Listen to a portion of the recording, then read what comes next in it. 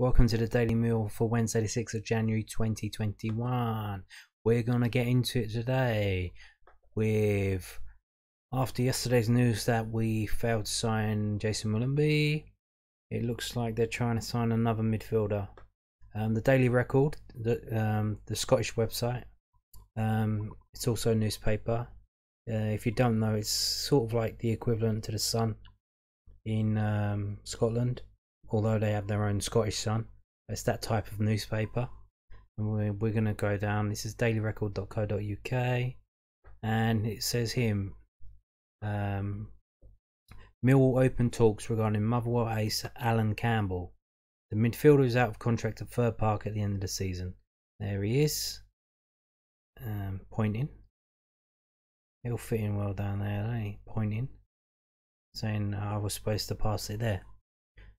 Um, Motherwell star Allan Campbell has attracted interest from English Championship side Millwall. 22-year-old midfielder's contract with the Steelmen expires in the summer, which means he can now speak to clubs about a move elsewhere. And the Scottish Sun claim that the Lions have now opened talks regarding the Scotland under-21 international. It's reported that Gary Rowett is uh, keen to make his move this month, but he faces competition from for a number of clubs for his signature. Campbell has netted twice in 21 appearances this season. Is one of a number of Motherwell players mulling over a new contract offer from the Fir Park club, who are currently searching for a new manager following Stephen Robinson's uh, resignation last week. Um, and they go on to talk about Motherwell a bit there.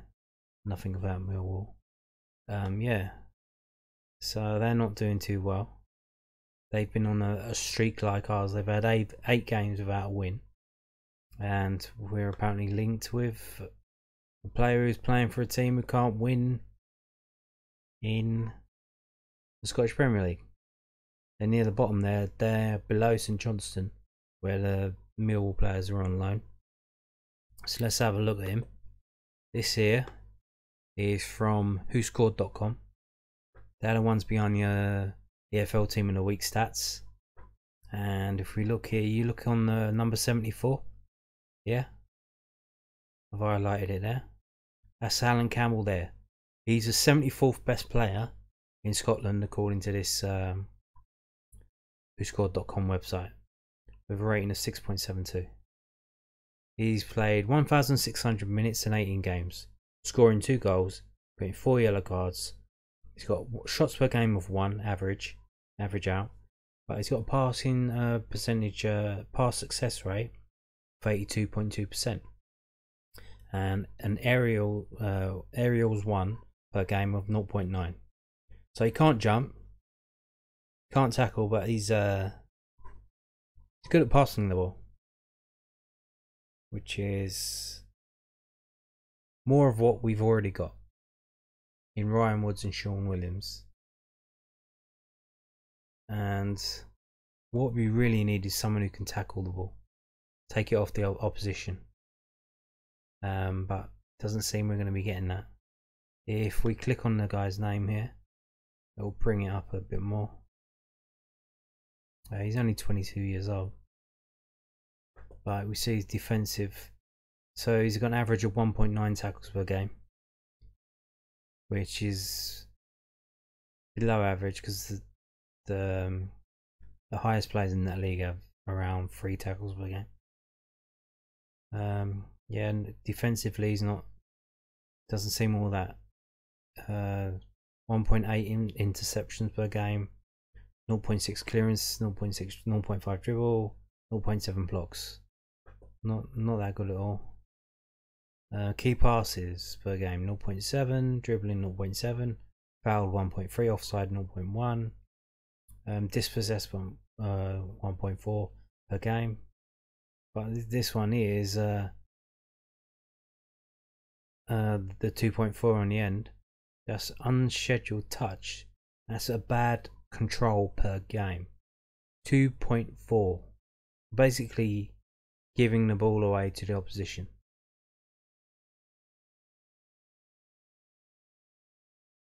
Through bad touches, like dis dispossessed means you got tackle for the ball, and this 2.4 bad control per game is so well. I guess It's where someone passes to you and you don't control it.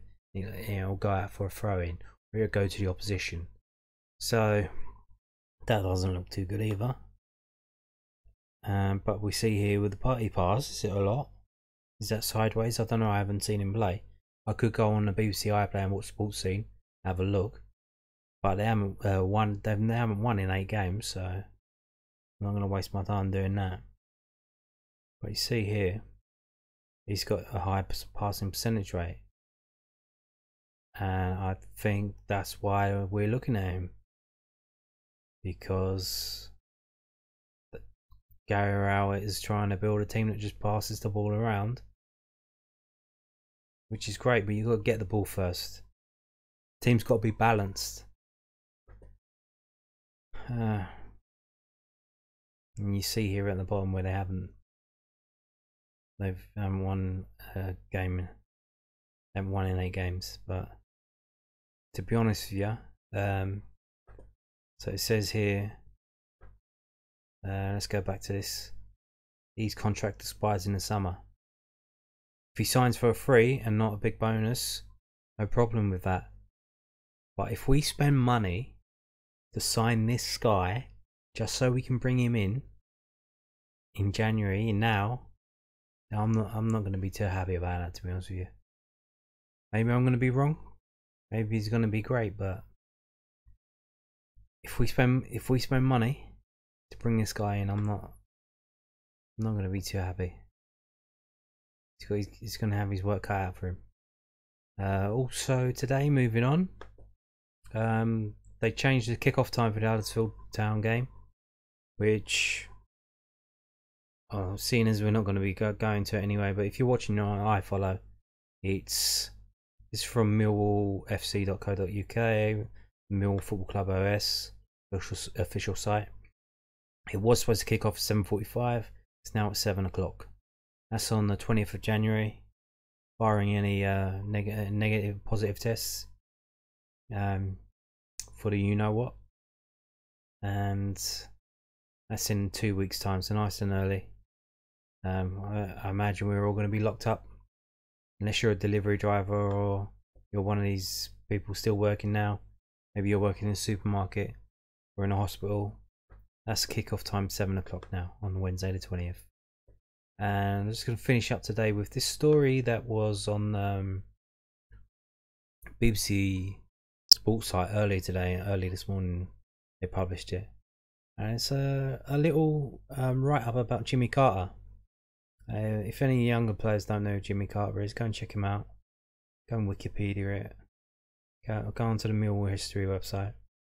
Um, he was a winger when we got promotion to the, the first division, which was the highest division then, but which got replaced by the Premier League in 87 88 and 88 89. Only two seasons we had in the top flight. He was the winger then. And this story on bbc.co.uk sport written by Mandeep uh, Sanghera. It's all about um, Jimmy Carter being the first British Asian player to play in the Premier League.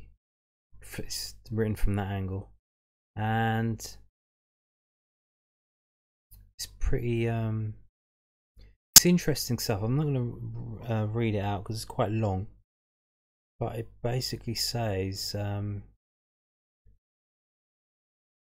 that his father was indian and his his name his father was called carter as well it's, it's Carter, it says here Carter explains that his surname dates back to an English ancestor from the 17th century who, after moving from London to India, married an Indian woman and settled in the country. His father Maurice was born to Indian parents in Kanpur and brought up in Lucknow in the north of India, where he attended Le Martiniere College, a prestigious private school established in 1845 uh, under colonial rule. It says Maurice was orphaned at the age of 14 and left lost with no family to speak of. So he joined the Navy when he was 16. So it's a pretty um pretty sad story there about um Jimmy Carter's dad. About Jimmy Carter was um His dad was a boxer in the in the navy. He had 38 fights and never lost one. Came to England, married an English woman, but after she had the Jimmy and his brother, doesn't mention his brother's name here. Um, they actually stayed with the father, and Maurice took custody. And they grew up in Hackney, basically as Indian kids. Um, and then it goes through how more of Jimmy Carter growing up, how he was at Palace, Crystal Palace, and then they let him go, and he thought, oh, it was all over. But then he then he went to um, Queens Park Rangers before he went to Millwall. He's saying um, most people didn't know he was Indian. It, it says here. Um, he says here, Jimmy Carter says, hardly any of my teammates knew of my Asian heritage apart from Teddy. I always felt welcomed at Millwall, but I'd sometimes get a few racial comments from the opposition just because I looked a bit different. So only Teddy Sheringham knew knew he was um, Asian, Indian. But I think some of the Millwall fans did know, but it doesn't really bother them. And then they go on to talk about how many like, British Asians have played in the Premier League. Michael Chopra, Zesh Rehman. Um, they're complaining about how there's only 0.25% uh, uh, Asian professional footballers compared to 7% of the population. And yeah, it doesn't. Uh, it goes down here to the um, to the bottom where it says uh, he works as a co-commentator for radio and does some work for English Football League. I think he used to work for um, Millwall in the selling of the the hospitality, but I'm probably this season and last season. Um, I think they might have had to let him go because of uh, basically there was nothing to sell really, with what's going on. So there's some good pictures there. There's him with his uh, old man there in later years. Yeah, I just thought this was really interesting. I just wanted to share it with you. Um, if you're interested, go and, go and read the whole thing for yourself. Um, it's not too preachy on the race race issue, and it's a really um, good insight to um, Jimmy Carter, former Millwall player. And on that note, thank you for watching. Goodbye.